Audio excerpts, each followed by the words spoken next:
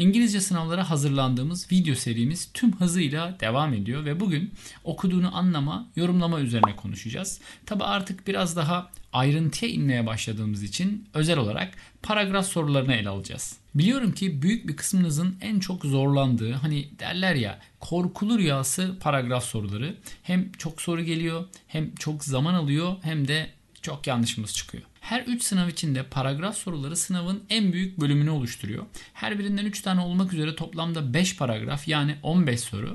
Yalnız bu da YDS için bir istisna var. YDS'de paragraf sorularında 4 soru soruluyor. Toplamda 20 sorudan bahsediyoruz. Hız önemli dedik. Peki her bir paragraf sorusu için ne kadar zaman ayırmalı? 3 sorulu bir paragrafsa 13, 4 soruluysa 16 dakikanın üzerine çıkmamaya çalışın. Ama ideali 3 soruda 10-12 dakika, 4 soruda ise 13-15 dakika civarında kalabilmektir. Tabi YDT öğrencileri burada dikkat etmeli çünkü onlar için zaman biraz daha kritik bir konu biliyorsunuz daha az zamanları var. Dolayısıyla bu bahsettiğimiz süreleri biraz daha aşağıya çekmeye çalışabilirler. Bence paragraf soruları en zor soru tipi değil hatta bence ilk 3 sırada bile değil. Çünkü cevaplar metnin içinde nereye nasıl bakacağını bilirsen o kadar da zorlanmazsın diye düşünüyorum. Öncelikle odaklanman gereken yer soru kökleri. Çünkü burada sana ne soruluyor bunu çok net anlamalısın. Burada iki durum var. Metinde açık, net olarak ifade edilen bilgi soruları ya da kastedileni,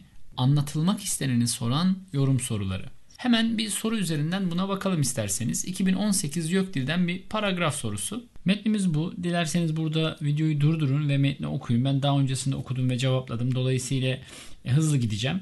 Şimdi burada ilk sorumuzda it stated diyor. Yani stated denildiği için metnin içerisinde değinilen, metnin içerisinde açıkça anlatılan bir e, soru arıyoruz.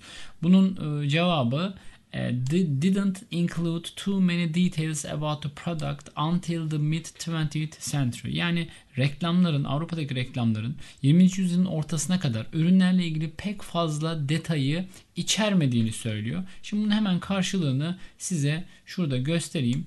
From the Industrial Revolution to mid 20th century dedi ya aşağıda zaten 20. yüzyılın ortalarına kadar. Advertising in Europe was generally straightforward and usually included genellikle ne içeriyormuş sadece? Sadece bir görüntüsünü, ürünün bir tanımını, işte fonksiyonun ne işe yaradığını, fiyatını ve nereden satın alabileceğimizi. Zaten buradaki only ifadesi, şuradaki only ifadesi bize cevabı açıkça veriyor. Dolayısıyla şu maviyle çizdiğim bölümden e, cevabın A olduğunu çıkarabiliriz. Zaten doğrudan değiniliyor. Geçtik 67'ye. Burada da it can be inferred diyor. Şimdi bakın inferred denildiği için aradığımız cevap doğrudan metnin içerisinde olmayabilir. Biz metnin tümünden ya da bir bölümünden bunu çıkarım yoluyla elde edeceğiz. Bakın az önce söylemeye çalıştığım şey buydu.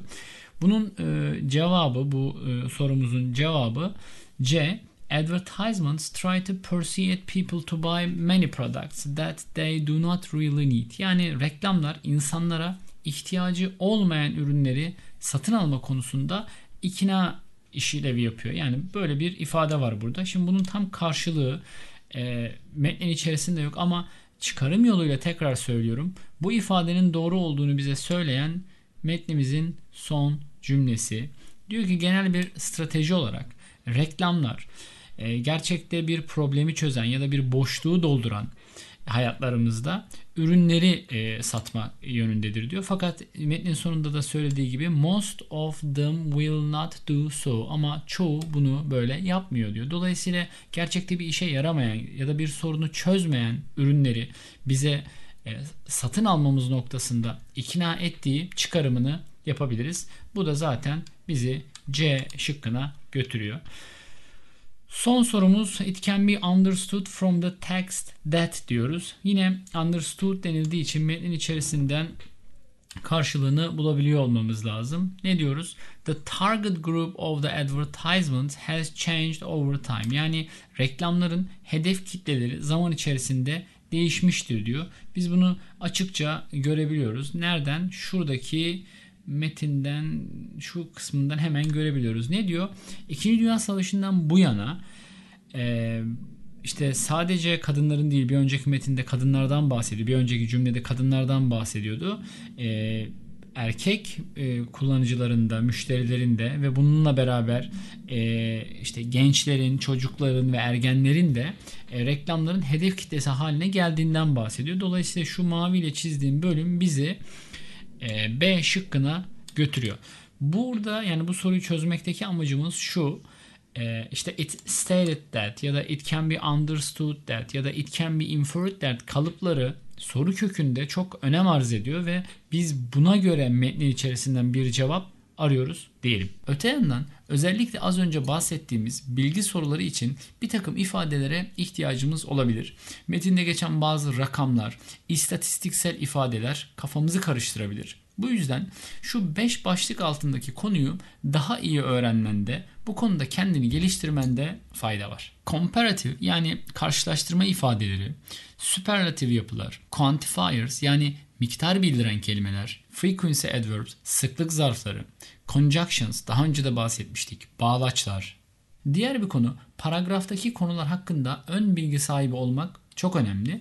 Bu da ancak çok soru çözerek ve çok okuyarak mümkün. Çünkü belirli kelimeler ve ifadeler sadece belirli alanlara özel. Buna terimsel ifadeler diyoruz biliyorsunuz. ÖSYM genellikle tarih, bilim, özellikle biyoloji, zooloji, astronomi gibi alanlar, sonra sanat, teknoloji gibi konuları seçiyor. Örneğin ben lise yıllarındayken çözdüğüm sorulardan, makalelerden köpek balıkları ile ilgili o kadar çok şey okudum ki artık bayağı bilgi sahibi olmuştum. Sonra üniversite sınavına girdiğimde İngilizceden sorulardan bir tanesi köpek balıkları ile ilgiliydi ve inanın gözüm kapalı çözmüştüm. Ne kadar ön bilgi ve aşinalık olursa bir paragraf sorusu sizin için o kadar kolay oluyor. Son olarak şıklarda metindeki ifadenin birebir aynısını bulamayacağını bilmelisin. Bilgi sorusu dahi olsa cümleler aynı anlama gelecek şekilde fakat farklı biçimde kurulur. Buna restatement ya da paraphrasing denir. Soruları çözerken buna dikkat etmeli ve çalışmalarını bunun üstüne kurmalısın. YDS YDT sınavında aynı cümlenin farklı şekilde ifade edilişlerini soran bu restatement soruları ayrıca soru olarak geliyor.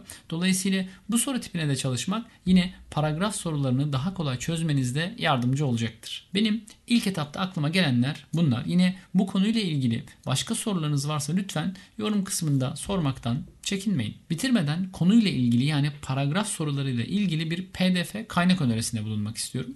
Tamamen tesadüfen Google'da bir şey ararken karşıma çıktı ve çok beğendim. Şimdi buradan da okuyacağım size.